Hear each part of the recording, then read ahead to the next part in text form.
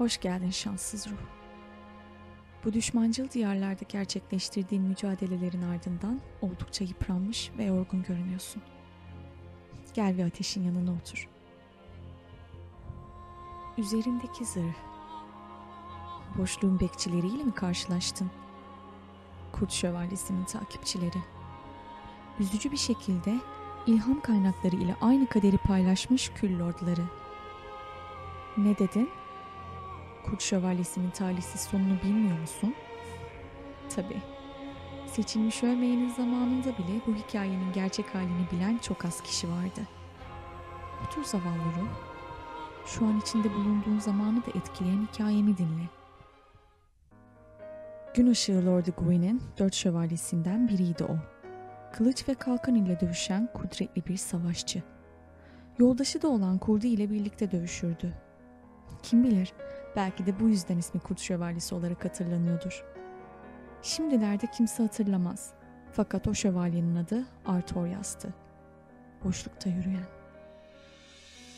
Yoldaşı ve dostu olan Kurt Sif ile birlikte boşluğu durduran kahraman. Onun geçmişi hakkında biz bile çok fazla bilgiye sahip değiliz. Dört kral boşluğa kendilerini adayıp Newlond'a düştüğünde Artorias'ın orada olduğunu sanıyoruz. Boşluğun hizmetkarları ile mücadele etmek için bir anlaşma yaptığı söylenilir. Kral arayıcısı Frampt ile yaptığını tahmin ettiğimiz bu anlaşma karşılığında kendisine bir yüzük verilmişti. Yüzük onun boşluk içerisinde zarar görmeden dolaşmasına ve boşluğun hizmetkarları ile dövüşmesine yardımcı olmuştu. Boşlukta yürüyen ismini de bu sayede aldı. Fakat bu süreçte kılıcı lanetlenmişti. Gerçekleştirdiği hizmet karşılığında ona gümüş bir kolye hediye edilmişti. Bu sayede karanlık güçlere karşı daha dayanıklı oldu. Tam bu sıralarda Olisel karanlık bir tehdit ile karşı karşıya kaldı. Kara avcı Kate'in kendilerini kandırmasıyla boşluğun babası Manus'u serbest bırakan Olisel halkı karanlık tarafından ele geçirilmişti. Sif ile birlikte yola çıkan Artorias Manus'u yenmeyi başardı. Fakat bu mücadele sonunda güçsüz düştü ve hayatını kaybetti. Söylentilere göre Sif uzun bir süre boyunca mezarı başında bekledi. Kudretli kılıcını ve boşluğa karşı koruma sağlayan yüzüğünü korudu. Ta ki güçlü bir rakip onu yenerek dört kralı durdurabilecek yüzüğü alana kadar. Kurt Şövalyesi hakkında anlatılan hikaye bu veya buna benzer bir versiyon olacaktır. Fakat hikayenin aslını bilenler bu hikayenin kurmaca olduğunu, gerçeğin eksik bir versiyonu olduğunu söyleyeceklerdir. Olayların nasıl gidişatı biraz daha farklı olmuştur. Daha vahşi, daha talihsiz, daha hüzünlü. Artorias ve Sif gerçekten Olisil'a gitmişti. Fakat beklediklerinden daha kuvvetli bir güç ile karşılaştılar. Artorias'ın sol kolu sakatlanmış ve kullanılamaz hale gelmişti. Boşluk çevrelerini sarmaya ve ikisini de ele geçirmeye çalıştı. Artık kullanamayacağı kalkanıyla Sif'in etrafına bir bariyer oluşturan Artorias, yoldaşını aynı kaderi paylaşmaktan kurtardı. Prensesi kurtarmak ve Olisel halkını korumak için çıktıkları yolda o sıralar küçük bir yavru olan yoldaşından başka kimseyi koruyamadı. Daha önce hikayesini anlattığımız seçilmiş ölmeyen burada devreye giriyor. Kaderini yerine getirmeye çalışan ölmeyen, Artorias'ın hikayesini duyuyor elbette. Karşılaştığı bir kedi ise hikayenin eksik olduğunu iddia ediyor. Ölmeyen tüm bu hikayeleri duysa da fazla önemsemedi. Sonuçta yüzlerce yıl geçmişte yaşanmış ve bildiği kadarıyla ona bir faydası olmayacak bir hikayeydi bu. Fakat altından bir golemin içine hapsedilmiş kadını kurtardığında ne kadar yanıldığını anladı. Kadın Olisel Prensesi Dusk'tı ve bambaşka bir zamanda olduğunu biliyordu. Onun yönlendirmeleri sonucunda kırık bir kolye bulan seçilmiş ölmeyen, bilinmeyen bir güç tarafından geçmişe çekildi. İşte buradaydı. Yıkılmış ve unutulmuş olan Olisel. Kadim büyülerin diyarı. Kendi zamanından yüzlerce yıl geriye atılmış olan ölmeyen, terk edilmiş bir diyara adım atmıştı. Karanlık burayı yavaşça etkisi altına almış, halkı deforme olmuş yaratıklar haline getirmişti. Ormanı geçen ölmeyen şehre girmek üzereyken ilk düşmanları ile karşılaştı. Ve onunla.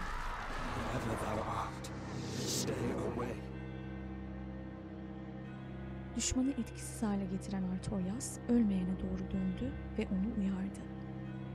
Her kimsen uzak dur. Yakında beni tüketecekler. Onlar karanlık.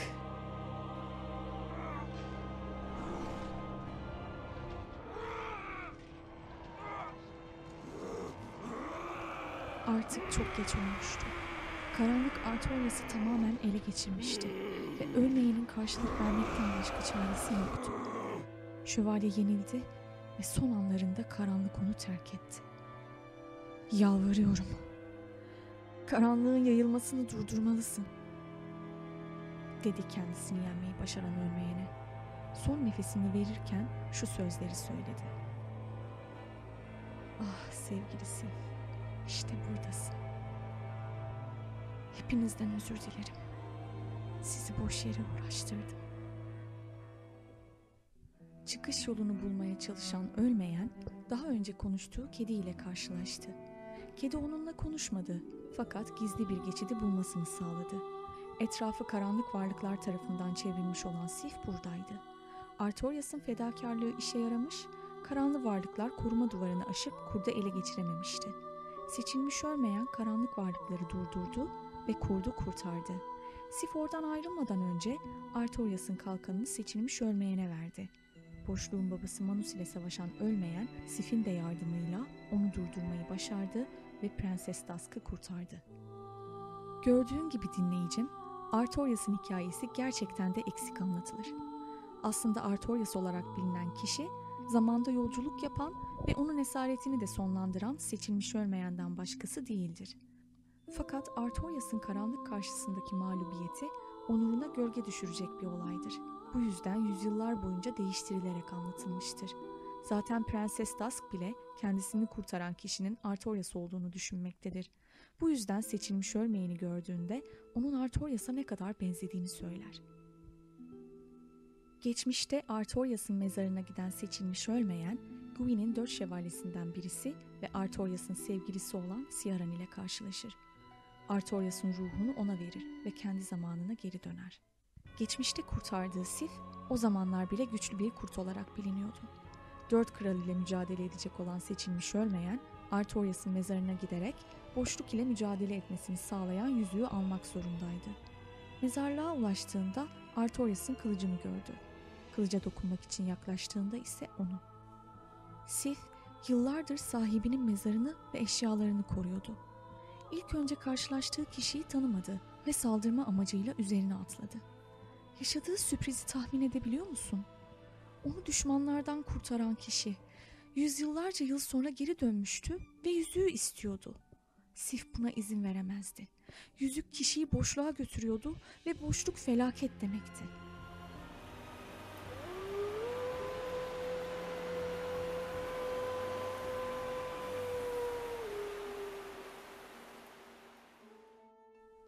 İstemediği halde olması gerekeni biliyordu. Ya eski dostunu durduracak ya da kendisi ölecekti. Belki bu sayede sahibiyle tekrar bir araya gelebilirdi. Bir an tereddüt etse de sahibinin kılıcına uzandı. Seçilmiş ölmeyen bu mücadeleyi kazandı ve yüzüğü aldı. Mezarlığın hemen yanında tanınmayacak haldeki bir kadının cesedinin üzerinde ikinci bir yüzük daha buldu. Bu yüzük geçmişte Artorias'ın ruhunu kendisinden isteyen Ciaran'a aitti. Kurt Şövalyesi'nin mezarı hem eski yoldaşı Sif hem de silah arkadaşı ve sevgilisi olan Ciaran tarafından korunmuştu. Boşluğun bekçileri de Artorias'ın yolunu takip ettiler ve kurt kanını yaşatmaya devam ettiler. Fakat şimdilik bu kadar hikaye yeter. Başka bir zaman sana onların hikayesini de anlatırım. Kim bilir belki de Hawkwood anlatmak için gönüllü olur.